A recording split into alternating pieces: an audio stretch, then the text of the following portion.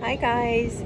So the majority of you asked for a video on how you get your day back on track when your naps don't go to plan. So here's a little bit of information. So it really depends on the age of the child, how many naps are in their schedule and what time of the day that happens, that your failed nap happens. So the younger a child, the more naps they have, so you've got a better chance of getting yourself back on track before bedtime. The older a child is, the trickier it can be because if you give an emergency nap later on in the day, it can offset the sleep pressure for bedtime, and all of a sudden you're having a party at 9 p.m. because someone had a nap late in the day. And um, if you haven't done it yet, you're going to do it at some stage and you will you will not be happy.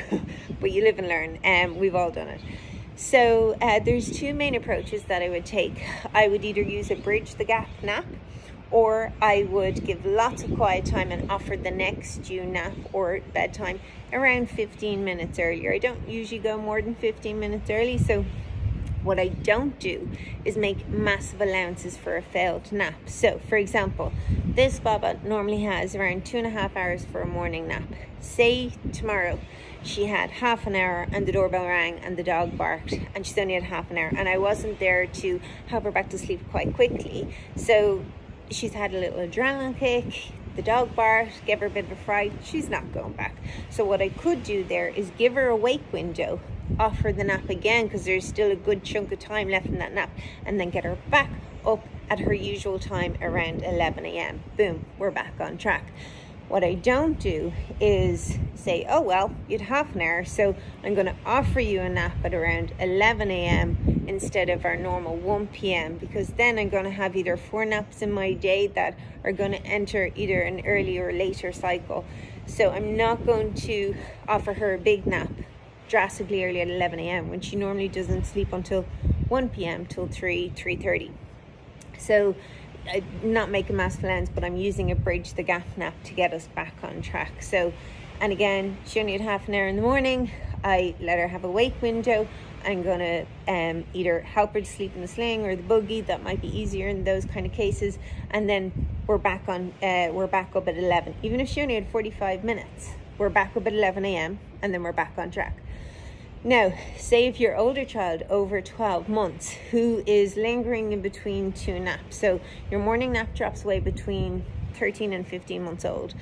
So, say if your 13 month old's big nap didn't go to plan because Granny called to the door or whatever happened, and they've only had 45 minutes. So, you can either say, oh gosh, you only had 45 minutes, you can put them in the buggy if they're a child who might go sleep in the buggy and go for a walk, let them look at the world and see if they'll nod off. If they did nod off um, just before 3 o'clock and their normal uptime is around 3.15, we can let them sleep till 3.30 and boom, we've, we've recharged the batteries enough to get us to bedtime, but not too much to ruin bedtime try and avoid emergency cat naps late in the day, even after kind of like nine months old, because it can make bedtime trickier and you can enter a later cycle. Another example, say if we have a six month old child who, a six month old for a morning nap, I recommend in and around an hour and 15 minutes of a morning nap. Some need an hour, some need an hour and a half, but in and around um, the majority of children I worked with, work with, um, around an hour and 15 does quite well for a morning nap. Say if our doorbell rang or whatever, we were traveling and the child woke up after half an hour. Again, not going to bring my big nap from one o'clock all the way back to like 11.30. What I could do is offer quiet time and hope that they will sleep again. And if they do take that sleep, but it's like they fell asleep at 10.30 when normally they're up at 10.30, ooh, what are we going to do? You can let them have a little 20 minute, 30 minute sleep at that time and push your big nap to 115, 120 latest, and then you're back on track. So again, not making massive allowances and not starting the next day the only time I make um, big, big compensations is when a child is sick. I'm like, you were up all night, you know, you're sick, the routine goes out the window, you just help up and get back on track um, when they're better. But while they're sick, you just do go with the flow, do whatever needs to be done. You can still do darkness from like 7 to 7, that can help keep that little routine this advice that I'm giving you is very much for parents who are routine orientated. If you feed on demand, nap on demand, probably not really going to apply to you unless your child has fallen into a little uh, schedule by themselves. So each to their own, whatever makes you and your baba happy. Um, but they're the tips that I would use, um, and the same when I'm traveling. So when I have a travel day, whatever goes, goes. A strong bedtime routine,